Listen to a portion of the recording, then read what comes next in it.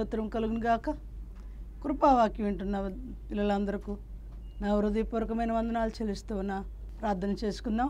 పరిశుద్ధుడు మహోన్నతుడు మహాగణుడు నీకే వందనాలు చెల్లిస్తున్నాను ఆయన జీవాధిపతి నువ్వే జీవము గల దేవుడు నువ్వే ఆయా అగ్ని లాంటి దేవుడు నువ్వే ప్రభా ఆయా ఆకర్షితుడైన దేవుడు నాయన గొప్ప దేవుడు ప్రభా ఉన్నతమైన దేవుడు నాయన రాజులకే రాజువి.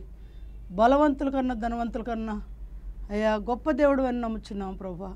నీ ఆశ్చర్య కార్యములు చూసి ప్రభా మహిమ పొందటానికి యోగ్యుడైన దేవుడు అయ్యా నీకు స్తోత్రాలు చెల్లిస్తున్నాను. అయ్యా ఇదిగో తండ్రి మేము మంటి వారమని తెలుసుకొని మీరు ఎంతో మమ్మల్ని ప్రేమిస్తున్నారని నమ్ముచున్నాను అయ్యా. అయ్యా జీవము గల దేవుడు అయి ఉన్నావు తండ్రి. మీ జీవము వినివారందరికీ ప్రభా కలుగుటకు సహాయం ఇచ్చేయండి అయ్యా. మీ జీవము కలిగిన మాటలు ఓటలు వారిని తడపండి నాయన. మీ నామానికి మహిమ తెచ్చుకోమని నన్ను మరుగుపరిచి మీరు మాట్లాడమని క్రీస్తునామం నడుచున్నాం తండ్రి. ఆమెన్.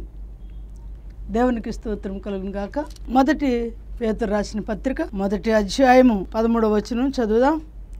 కాబట్టి మీ మనస్సు అను నడుము కట్టుకొని నిబ్బరమైన బుద్ధి గలవారై యేసుక్రీస్తు ప్రత్యక్షమైనప్పుడు మీకు తేబడు కృప విషయమై సంపూర్ణ నిరీక్షణ కలిగి ఉండుడి. నేను పరిశుద్ధుడనై ఉన్నాను గనుక మీరును పరిశుద్ధులై ఉండుడని వ్రాయబడి ఉన్నది. కాగా మీరు విధేయులకు పిల్లలై మీ పూర్వపు అజ్ఞాన దశలో మీకుండిన ఆశలను అనుసరించి ప్రవర్తింపక మిమ్మను పిలిచినవాడు పరిశుద్ధుడై ఉన్న ప్రకారము మీరును సమస్త ప్రవర్తన ఎందు పరిశుద్ధులయుండు పక్షపాతము లేకుండా క్రియలను బట్టి ప్రతివానిని తీర్పు తీర్చువాడు తండ్రి అని మీరు ఆయనకు ప్రార్థన చేయుచున్నారు. గనుక మీరును పరదేశులై ఉన్నంతకాలం భయముతో గడుపుడి. దేవునికి స్తోత్రం. ఇక్కడ మనకు పేతురు రాసిన పత్రిక ద్వారా పరిశుద్ధమైన మాటలు నీతి కలిగిన మాటలు నియమము కలిగిన మాటలు నియమముతో కూడిన మాటలు మనకు నేర్పుతూ ఉన్నాడు మన ప్రభు. పేతురు రాశాడు. ఏమంటున్నాడంటే కాబట్టి మీ మనస్సు అను నడుము కట్టుకొని నిబ్బరమైన బుద్ధి గలవారై యేసుక్రీస్తు ప్రత్యక్షమైనప్పుడు మీకు తేబడు కృప విషయమై సంపూర్ణ నిరీక్షణ కలిగి ఉండు దేవునికి స్తోత్రం. ప్రియమైన సహోదరులారా మనందరం రక్షణ పొందాము. పర్వాలేదు అనుకోకుండా రక్షణ కలిగిన ప్రతి పిల్లలు దేవుణ్ణి కలిగి నడుచుకునే ప్రతి పిల్లలు ఎలా ఉండాలి అని నేర్పుతున్నాడంటే అపోజిట్ పౌలు ఈ పేతురు గారికి రాసిన లెటరు. మరి ఆ సంఘానికి కావలసినటువంటి ఈవులు అనుగ్రహము దేవుడు అనుగ్రహించాడు. ఆ అనుగ్రహము మనము కూడా పొందాలి అంటే ఆయన అంటున్నాడు ఆయన వస్తూ వస్తూ ఆయన కృప మన కొరకు సిద్ధపరిచి ఆయన తేబోతున్నాడట. ఆ తేబోతున్నటువంటి మహిమ కార్యాలు కృపతో నింపబడిన ఆశ్చర్యాలు మనము చూడాలి అంటే నిరీక్షించమంటున్నాడు. మరైతే నిరీక్షణ కలిగి ఉండాలి కానీ నిరుత్సాహంగా ఉండకూడదు మనం. ఏసైతో నడిచే పిల్లలు ఎవరైనా పర్వాలేదు. ఏ కులమైనా ఏ మతమైనా ఏ జాతి అయినా ఏ ఆడంబరముగా బ్రతికే లోకమైనా ఆయన అంటున్నాడు కదా నిరుత్సాహంగా ఉండకూడదు నిరీక్షణ కలిగి ఉండాలి. ఏదో మనం పెట్టుకున్నాంలే మన చర్చి వాళ్ళు ఇలా నడుస్తున్నారు మన సంఘం ఇలా నడుచుద్దులే అనే ఇలాగా భేదాభిప్రాయాలు పెట్టుకొని ఎవరు నడిచే విధానంగా వారు నడిచేది భక్తి కానే కాదు. నేను అంటున్నాను కదా అర్థం చేసుకున్నటువంటిది ఏంటంటే దేవుని చిత్తాన్ని గ్రహించి దేవుని కృపావాక్యము ఎలా ఉంటుందో దేవుని కృప అంటే ఎలా ఉంటుందో అది ఆ మధురమైన మాటలో మరి మనం వింటే ఆయన అంటున్నాడు కదా నిరీక్షించండి. ఆయన నేను వస్తా వస్తా మీకు కృప కలిగిన మాటలు. ఆయన అంటున్నాడు బుద్ధి గలవారై నిబ్బరమైన బుద్ధి గలవారై యేసుక్రీస్తు ప్రత్యక్షమైనప్పుడు ఆయన కృప తేబడు విషయమై ఆయన కృప మన కొరకు తెస్తున్నాడు మన కొరకు ఏం తెస్తాడు? మనం ఏది అడుగుతున్నాం? మనం ఎందుకు బ్రతుకుతున్నాం భూలోకంలో అసలు? అని మనం పరీక్షించుకొని ప్రవ్వా నిన్ను కలిగి ఉన్నాను నీతో నడుస్తున్నాను నాకు ఏం సిద్ధపరిచావు? నా కొరకు నువ్వేం తెస్తున్నావు? నీ కొరకు నేను ఎలా ఉండాలి అని ఎదురు చూసే పిల్లలకి ఆయన అంటున్నాడు నిరీక్షించండి అంటున్నాడు. దేవునికి స్తోత్రం. అది కొన్ని వేల సంవత్సరాలు అవ్వచ్చు. నిరీక్షించడం అంటే ఒక గంట ఒక పది గంటలు ఒక పది రోజులు ఒక పది నెలలు ఒక పది సంవత్సరాలు నిరీక్షించి ఆ తర్వాత నిద్రపోయేది కాదు ఇది. నీ శివర శ్వాస నీ కంఠములో ఉన్న ఊపిరి ముగిసే వరకు లేదంటే దేవుని రాకడ వచ్చే వరకు. ఖచ్చితంగా అప్పుడు అప్పటి వరకు మనం నిరీక్షించి ఆయన రాజ్యము మనకు తెచ్చే వరకు ఖచ్చితంగా ఎదురు చూడాలి. నిరీక్షించే వారందరూ నిరుత్సాహపడవద్దని నేను మరొకసారి మనం చేసి చెబుతున్నా. నిరుత్సాహముగా ఉంటే నిత్యరాజ్యం దొరకదు. అశ్రద్ధగా అజాగ్రత్తగా వెతికితే కావలసిన ఫలము పొందలేము మనకి ఇవ్వాల్సిన ఫలము ఆయన చేతిలో నుండి మనం తీసుకోలేము ఆయన గుప్పుడు విప్పగా ఆకాశములో ఉన్న పక్షులన్నీ జంతువులన్నీ అరణ్యములో ఉన్న జంతువులన్నీ సర్వకోటి మానవాళి తృప్తి పడుతున్నాయట ఆహారం తిని. ఎంత ఆశ్చర్యమైన మాట ఇది. సర్వకోటి మానవాళి కోట్లాది ప్రజలు ఆయన గుప్పుడు విప్పితేనే ఆరోగ్యంగా ఉండి ఆయుష్ కలిగి ఆయన పెట్టే ఆహారం తినగలుగుతున్నాం ఆరోగ్యంగా జీవించగలుగుతున్నాం. అయితే మరి పక్షులు జంతువులు వాటికి గరుసులు లేవు గుడిసెలు లేవు గాదులు లేవు కొట్టులు లేవు దాచుకునే ఇళ్ళు లేవు వాటికి. నివసించడానికి గూడు లేని ఆకాశ పక్షులను కూడా ఆయన గుప్పుడు విప్పగా ఆయన పోషిస్తున్నాడని అవన్నీ తృప్తి పడుతున్నాయని అవన్నీ కలత లేకుండా నిద్రిస్తున్నాయని లేఖనం చెబుతుంది. ఇంత పక్షులే కలత లేకుండా నిద్రిస్తున్నాయే మనము. అన్ని జ్ఞానం ఎరిగి అన్ని తెలివితేటలు మనకిచ్చి దేవుడు మరి ఎంతో వైభవాలు ఇచ్చి అందనాలు ఇచ్చి మేడలు మిద్యలు ఔనత్యాలు అన్నీ ఇచ్చి కూడా మనం కలత చెందుతున్నాం. అప్పుడప్పుడు మన పిల్లలకు బాగా పోతే కలత చెందుతున్నాం. ఉద్యోగం లేకపోతే కలత చెందుతున్నాం. చదువు లేకపోతే కలత చెందుతున్నాం. సమస్యలు వస్తే కలత పడుతున్నాం. అయితే మనం ఎంత బుద్ధిహీనులమే? పక్షుల కన్నా జంతువుల కన్నా మనం చాలా శ్రేష్ఠులు అని రాశాడు బైబిల్లో. పక్షుల కంటే మీరు శ్రేష్ఠులు కారా?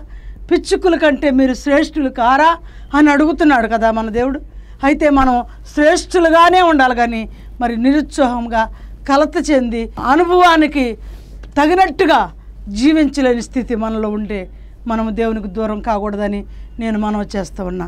మరి ఇంకో మాట చెబుతున్నాడు. నేను పరిశుద్ధుడును పద్నాలుగో వచ్చిన నేను పరిశుద్ధుడునై ఉన్నాను కనుక మీరును పరిశుద్ధులై ఉండుడని వ్రాయబడి ఉంది కాగా మీరు విధేయులకు పిల్లలై మీ పూర్వ అజ్ఞాన దశలో మీకుండిన ఆశలను అనుసరించి ప్రవర్తింపక పూర్వపు జీవితం. పూర్వ అజ్ఞాన దశి అంటే దేవుడు అంటే తెలియనప్పుడు ప్రార్థన అంటే తెలియనప్పుడు నిరీక్షణ లేనప్పుడు విశ్వాసం లేనప్పుడు నమ్మకం లేనప్పుడు అయితే దేవుని బిడ్డగా నువ్వు అంగీకరించబడినప్పుడు నీకెన్నో అలవాట్లు ఉండొచ్చు. ఎన్నో లోకానుసారమైన ప్రవర్తనలు చాలా ఉండొచ్చు. చాలా ఆచారాలు ఉండొచ్చు. ఆచారాలు అలవాట్లు అన్నీ కూడా అనుభవిస్తూ అనుసరిస్తూ జీవించుంటాం. కానీ మునుపున్న మీకు అజ్ఞాన దశలో ఉన్న ప్రవర్తన మీరు ఇప్పుడు ప్రవర్తింపక నా కొరకు ఎదురు చూసినట్టయితే నా కొరకు నమ్మకంతో జీవించినట్టయితే ఆయన అంటున్నాడు కదా. ఖచ్చితంగా అజ్ఞాన దశలో ఉన్న మీరు ఏ విధమైన ప్రవర్తన ఉందో ఎలాంటి ప్రవర్తన అంటే ఈ లోకంలో చాలామంది ప్రియమైన పిల్లారా మీకు ఏమనుకోకుండా కోపం రాకూడదు కానీ ఎన్నో అలవాట్లు. లిప్టిక్లు వేసుకొని చాలామంది ఆలయాలకి ఆరాధనకి చాలామంది రంగులు వేసుకొని భూషణాలు ధరించుకొని చాలామంది మన కురులు మన ఇష్టం వచ్చినట్టు తిప్పుకొని మనం అజ్ఞాన దశలో ప్రవర్తించినట్టుగా దేవుని ఆలయానికి వెళ్ళే పిల్లలు కూడా ప్రవర్తించినట్టయితే అట్టి వారికి ఆయన కృప ఎలా దొరుకుతుంది? అందుకని ఆయన అంటాడు కదా పూర్వపు మీ పూర్వపు అజ్ఞాన దశలో ఉన్న ప్రవర్తన ఇప్పుడు ప్రవర్తించొద్దు. ఇప్పుడు నేనున్నాను నాతో ఉన్నారు మీరు. ఇప్పుడు నన్ను కలిగిన వారైతే ఆ అజ్ఞాన దశలో ఉన్న ప్రవర్తన మానవే. అలవాటు ఆచారం లిప్టిక్లు రంగులు కురులు వంకరలు నీ ఇష్టం వచ్చిన క్యాపింగులు దేవుని కొరకు నిషేధించుకో. దేవుని చిత్తం ఏదో గ్రహించి బైబిల్ చదివి బైబిల్లో ఉన్న వాక్యాన్ని బట్టి భక్తులు ఎలా నడిచారో తెలుసుకొని అనుసరించినట్టయితే ఆయన కృప మీకు తోడై ఉండి నడిపించబడును గాక ఆయన అంటున్నాడు ఖచ్చితంగా వాక్యాన్ని మరి ప్రభు అంటున్నాడు. ఖచ్చితంగా నా యొక్క మాటలు చెప్పినప్పుడు అగ్నితో కోసినట్టుగా అగ్నితో కొలిమిలో కాల్చినట్టుగా నా వాక్యం అనే ఖడ్గమును పొదును పెట్టిన ఖడ్గాలు రెండు ఇచ్చాను నీకు. రెండు ఖడ్గాలతో కత్తిరించు కోసివేయి అని చెబుతున్నాడు. కోసివేస్తే మీకు ఎంత బాధో కత్తిరిస్తే ఎంత బాధో దేవుడికి కూడా మీరు చేస్తున్న ప్రవర్తన చూసి మీరు నడిచే ప్రవర్తన చూసి దేవుని దృష్టికి యోగ్యంగా లేక దేవుని ఆత్మ మిమ్మల్ని చూసి దుఃఖపడుతుందని నేను వాక్యానుసారంగా మీతో మాట్లాడుతున్నా.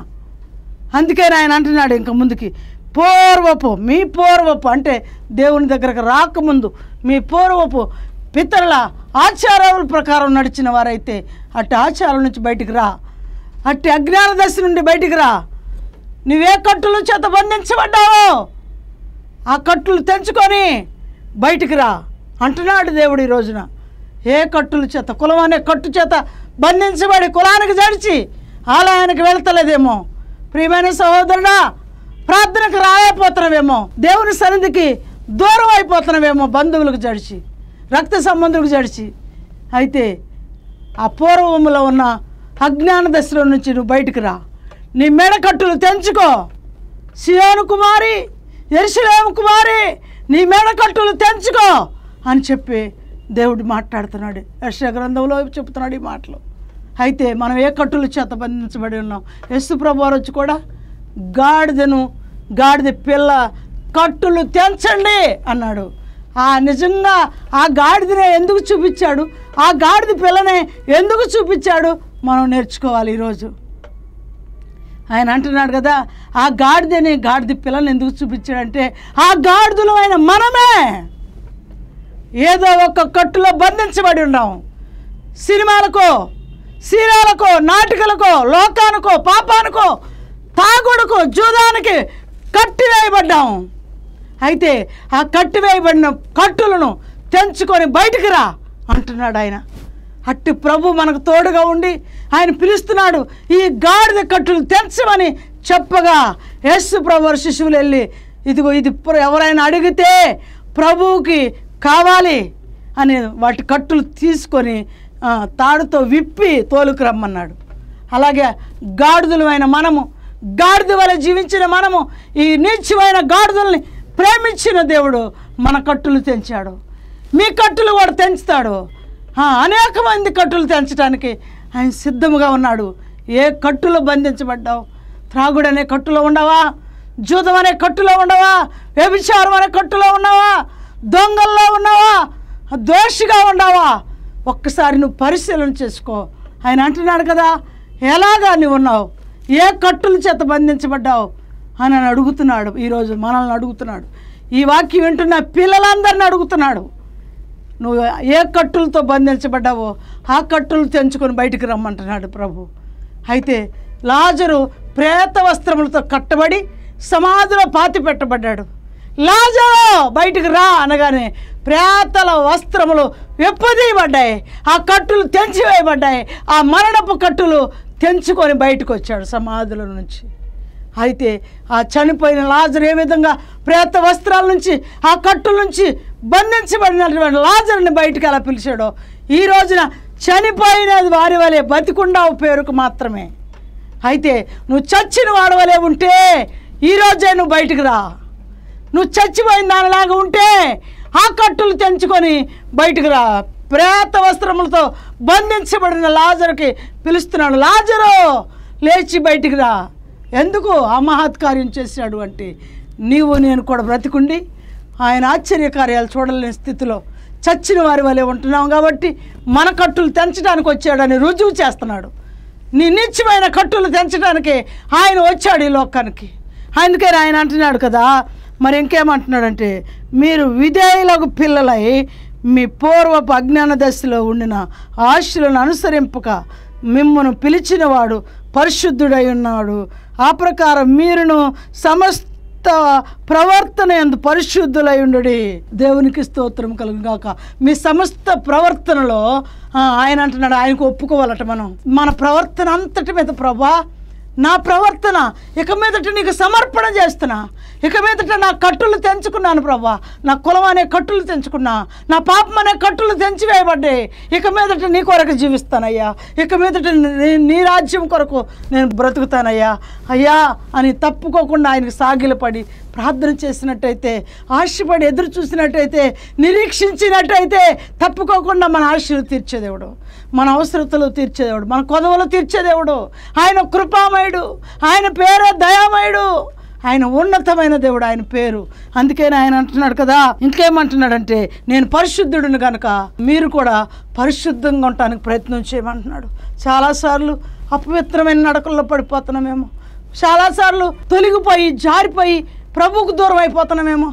మనం అంతటికి మనమే పరిశీలన చేసుకొని ప్రభా నా జీవితాన్ని కట్టునాయన అయ్యా నీ రాజ్యం కొరకు నన్ను స్థిరపరిచేయా అని ప్రార్థన చేసినట్టయితే ప్రభు నీ జీవితాన్ని కట్టబోతున్నాడు నీ అవసరత తీర్చబోతున్నాడు నువ్వు అడిగే కోరికలు తీర్చబోతున్నాడు నువ్వు ఏ ఇచ్చలో బంధించబడ్డావో బయటకు రా అంటున్నాడు. నీ ఇష్టమైన ఇచ్చను విరిచివేసుకో తొలగించుకో ఇచ్చ నుంచి బయటకు రా.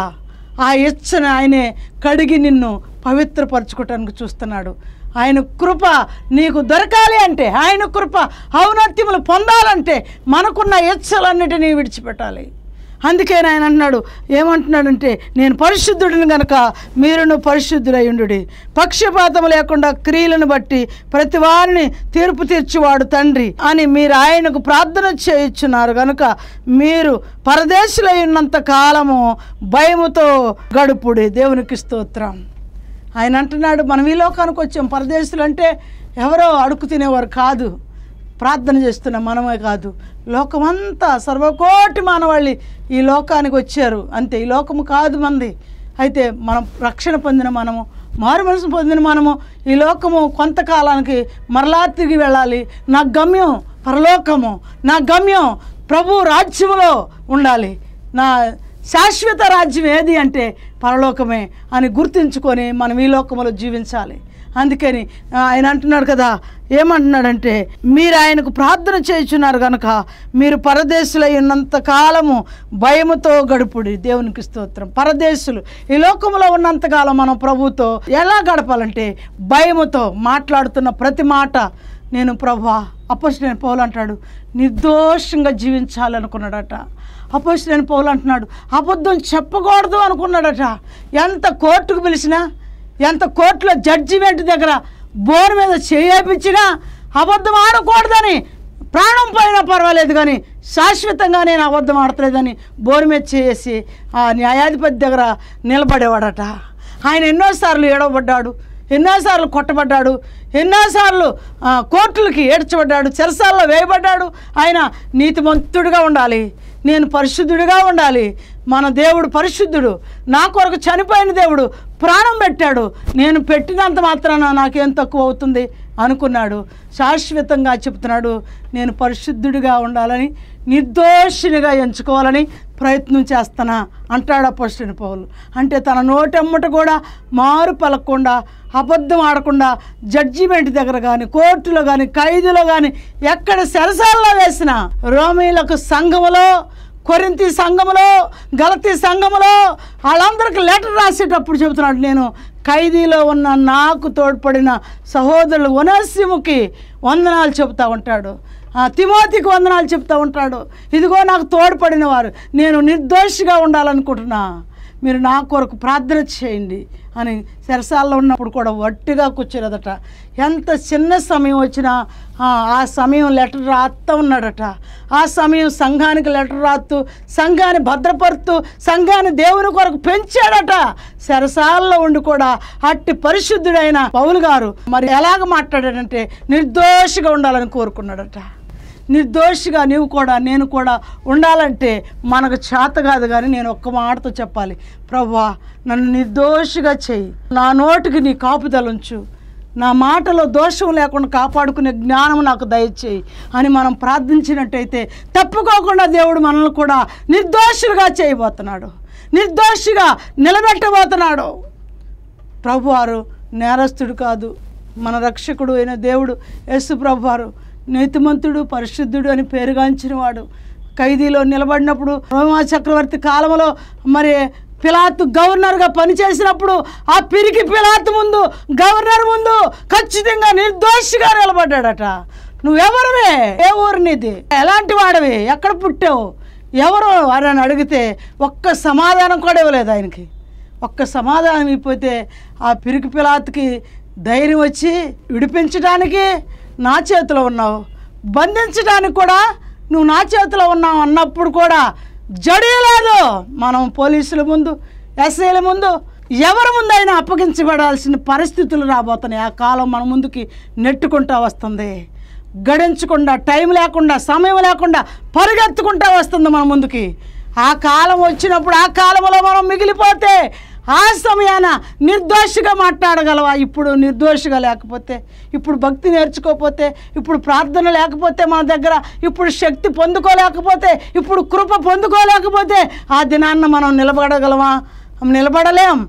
ఆయన ఖైదీకి వెళ్ళాడా? సరసాల్లో వేయబడ్డాడా? ఎన్ని కోర్టులు కైసర దగ్గర తిరిగాడు? గవర్నర్ దగ్గర తిరిగాడు? పిలాత అంటున్నాడు విడిపించాలన్నా నా చేతిలో ఉన్నావు. నిన్ను తప్పించాలంటే నా చేతిలో ఉండవు బంధించాలంటే నా చేతిలో ఉండవు ఏమి నువ్వు మాట్లాడు అని ఖచ్చితంగా అడిగినా సరే ధైర్యంగా చెబుతున్నాడు యేసుప్రభు సమాధానం. నువ్వు విడిపించలేవు నువ్వు బంధించలేవు నన్ను. పైనుండి ఎవరైనా నీకు అధికారం ఇస్తే తప్ప నా మీద నిబ్బరం కలిగి ధైర్యం కలిగి ఉన్నాడు. మనం కూడా ఏమవుతామో ఏమవుతామో అని గింగురు మనకుండా ధైర్యంగా ఉండాలి. ఆ పరిశుద్ధుడైన దేవుడు మన కొరకు పరిశుద్ధంగా నేను పరిశుద్ధుడైన దేవుడిని మీరు కూడా నా కొరకు పరిశుద్ధంగా ఉండాలని కోరుకుంటున్నాడమ్మా. తప్పుకోకుండా మనం ఆయన వైపు చూడాలి ఆయన రాజ్యం కొరకు ప్రయాసపడాలి నిర్దోషంగా ఎంచబడాలి నిరుత్సాహపడొద్దు నిరీక్షించాలని కోరుకుంటున్నాను. ఆశ కలిగి ఉండాలి కానీ అనాలోచనగా ఉండకూడదని నేను మనం చేస్తున్నా. మరి అంతేకాక మరి వాక్యం ఇంకా చెబుతుంది. ముందుకెళ్దాం. భయముతో ఈ లోకములో పరదేశులుగా మీరు ఉన్నంతకాలం భయముతో గడుపుడు. పిత్ర పారంపర్యమైన మీ వ్యర్థ ప్రవర్తనను విడిచిపెట్టినట్లుగా వెండి బంగారముల వంటి క్షయ వస్తువుల చేత మీరు విమోచింపబడలేదు కానీ అమూల్యమైన రక్తము చేత అనగా నిర్దోషమును నిష్కళంకమునకు గొర్రె పిల్ల వంటి రక్తము క్రీస్తు రక్తము చేత విమోచింపబడుతుంది దేవునికి స్తోత్రం. హాలెలుయా! హాలెలుయా! దేవుడు అంటున్నాడు మన ప్రభు అంటున్నాడు ఇదిగో క్రయ విక్రయములు చెల్లించే కాలం వచ్చినప్పుడు ఆ మాటలు చెప్పాలంటే ఆయన అంటున్నాడు కదా ఏమంటున్నాడంటే వెండి బంగారముల చేత నీవు రక్షించబడలేదు క్షయ వస్తువుల చేత రక్షించబడలేదు. అంటే ఒక బిందు తాకట్టు పెడితేనో ఒక వంద రూపాయలు వస్తే రక్షించబడేది కాదు. ఒక ఇల్లు తాకట్టు పెట్టి డబ్బు తెచ్చుకొని ఆ పాపం నుండి విడిపించబడేది కాదు ఇది. నీ నోటితో నువ్వు ఒప్పుకొని నీ పాపమును పాపిని ప్రభు ఒప్పుకొని విడిచిపెట్టినట్టయితే అలాగ రక్షించబడతావని చెబుతున్నాడు. క్షయ వస్తువుల చేత రక్షించబడలేదు. క్షయ అంటే కనపడే వస్తువులు. అక్షయమైన వస్తువులు అంటే కనపడని రాజ్యము. అలాగని ఈయన అంటున్నాడు కదా పేతురు రాసిన మొదటి పత్రిక మొదటి అధ్యాయం మూడో వచ్చిన నుండి చదువుదాం. మన ప్రభువు యేసు క్రీస్తు తండ్రి అయిన దేవుడు స్తుతింపబడును గాక. మృతులలో నుండి యేసు క్రీస్తు తిరిగి లేచుట వలన జీవముతో కూడిన నిరీక్షణ మనకు కలుగునున్నట్లు అనగా అక్షయమైనది నిర్మలమైనది వాడబారనిదియునైన స్వాస్యము మనకు కలుగునట్లు. ఆయన తన విశేష కనికరము చొప్పున మనలను మరలా జన్మింప చేసిన దేవునికి స్తోత్రం కలుగును గాక. వాడబారని కిరీటము అతిశయ కిరీటము. ఆయన అంటున్నాడు కదా అక్షయమైనది వాడబారని కిరీటం మన కొరకు దాచి ఉంచానని దేవుడు మన కొరకు మాట్లాడుతున్నాడు. అక్షయమైన కిరీటం పొందాలి అంటే వాడబారని జీవము కిరీటం పొందాలంటే ఆ జీవ కిరీటం మనకు దొరకాలంటే ఆయన రాజ్యం కొరకు ఎదురు చూసే గుంపులో ఉండాలి. నిర్దోషత్వం కలిగి జీవించాలి. అయితే ఈ లోకము మనకు యాత్రికులము ప్రయాణికులమని గుర్తుపెట్టుకోవాలి. ఎంత ఆస్తులున్నా ఎంత డబ్బున్నా హోదా ఉన్నా అన్నీ విడిచిపెట్టి ఒట్టి చేతులతో వెళ్ళిపోవాలి. ఎంత వైభవాలు ఉన్నవారు ఈ లోకంలో ఉన్న ఎవరు ఎత్తుకుపోవట్లేదు. మనందరం చూద్దాం. మనకంటే ముందు ఎంతమంది దాటిపోయారు. మనం కూడా దాటిపోతాం. అయితే ఒట్టి చేతులతో వెళ్తాం. కానీ మనం దేనితో వెళ్ళాలంటే అక్షయమైన కిరీటం కొరకు జీవము కలిగిన కిరీటం కొరకు వాడబారిన కిరీటం సంపాదించుకోవడం కొరకు నీతి కలిగి పరిశుద్ధత కలిగి జీవించాలని ఆయన కోరుకుంటున్నాడు. ఆ కిరీటం లేకపోతే మనం చేస్తున్న ప్రార్థన వ్యర్థమైపోకూడదు. మనం పరిగెత్తే పందెము ఓడిపోకూడదు. ఓటమిగా ఉండకూడదు. ఆయన కృప ఔన్నత్యము దేవుడు మనకు దయచేస్తాడు. అందుకని ఆయన అంటున్నాడు కదా ఆయన తన విశేష కనికరము చొప్పున మనలను మరలా జన్మింప చేసిన దేవునికి స్తోత్రం. ఒకప్పుడు చనిపోయిన వారమే ఒకప్పుడు తప్పిపోయిన వారమే ఒకప్పుడు పాపంలో తాకట్టులో ఉన్నవారినే ఆయన ప్రాణం పెట్టి మనందరిని విడిపించాడు. మనందరి కొరకు ఆయన ప్రేమ చూపాడు. ఆయన కృపలో మరలా జన్మింప చేశాడు. అయితే పాపం అనే తాకట్లో ఉండవని విడిపించాడు. ఆయన మొదటిగా కన్నాడు రెండవదిగా పాపం అనే జీవితం నుండి విడిపించి మరొక జన్మని మరలా మనకిచ్చాడు. ఇట్టి ధన్యమైన జీవితం దేవుడు మనకి ఇస్తున్నాడని నమ్మి విశ్వసించిన వారికి ఇట్టి వాడవారిని కిరీటము జీవ కిరీటము దేవుడు వారికి దయచేయను కాక అట్టి పరుగు పందెములో ఓపిక కలిగి పరిగెత్తితే బహుమానము పొందు వరకు పరిగెత్తమని మన ప్రభువు కోరుకుంటున్నాడు. కనుక తప్పుకోకుండా మనం వాడబారని కిరీటం కొరకు అక్షయమైన కిరీటం కొరకు ఎదురు చూడాలి. క్షయమయ కిరీటాలు ఈ ఉద్యోగములు ఎన్నో ఉండొచ్చు. పార్టీలో హోదాలు రాణిగా ఉంటే హోదాలు రాజుగా ఉంటే హోదాలు మంత్రిగా ఉంటే హోదాలు ఎంతో హోందతనాన్ని బట్టి ఎన్నో కిరీటాలు ఉండవచ్చు పూలన్నీ అల్లి రకరకాల బంగారం కిరీటాలు ఉండొచ్చు. అవన్నీ వాడిపోయాయి వేడుకతో చేసే కానీ జీవ కిరీటము మాత్రము కాదు. పరలోకమైన దేవుడు అక్షయ కిరీటం మనకు దేవుడు దాచి ఉంచానంటున్నాడు. మన పరుగులో నమ్మకముగా ఉంటే మనం నడి- నడిచే నడక ప్రభువుకి ఇష్టమై నిర్దోషిగా నిలబడితే తప్పకుండా ఆయన కిరీటం మనకి ఇవ్వబోతున్నాడు. ఆయన జీవ కిరీటం ఇవ్వటానికే నిన్ను నన్ను రక్షించుకున్నాడు. ఈ రక్షణ జీవితంలో నిరీక్షణ కలిగి నిరుత్సాహంగా లేకుండా ఆయన కృప మనందరము పొందుదుముగాక ఆయన కృప మహదైశ్వర్యం మీ అందరికి దయచేయనుగాక ఆమెన్. ప్రార్థన చేసుకుందాం. పరిశుద్ధుడా మహోన్నతుడా నీ కొందనాలు చెల్లిస్తున్నాను ప్రభా. నీ కృప నీ సన్నిధి మాకు తోడుగా ఉంచి నడిపించినందుకు వేవేల స్థుతులు చెల్లిస్తున్నాను ప్రభా. నీ ఆశ్చర్యమైన కార్యాలు చూడాలి నాయన. నిర్దోషిగా జీవించాలి ప్రభా. అయ్యా నిన్ను కలిగి నీతో నడిచే భాగ్యం మాకు నాకు అందరికి దయచేయమని. అయ్యా వినుచున్న కృపావాక్యం వింటున్న పిల్లలందరూ దీవించబడుదురు గాక. ఈ వాక్యం విని ఎవరైతే అనుసరిస్తారో వారందరూ నీలో ఎదుగుదురు గాక. అయ్యా నిరవంజి చెట్లలో గడ్డి ఎదిగినట్టుగా వారు ఎదుగుదురు గాక. ఒలేవ మొక్కలు వలె ఎదుగుదురు గాక. అటు మొక్కలు ఫలించబడును గాక. అటు జీవితము వినిన వారందరూ ధన్యులవుదురు గాక. అట్టి జీవితం వారందరికి దయచేయబడును గాక. అటు కృప సన్నిధి మాకు నాకు తోడుగుండి నడిపించును గాక. ఆమెన్.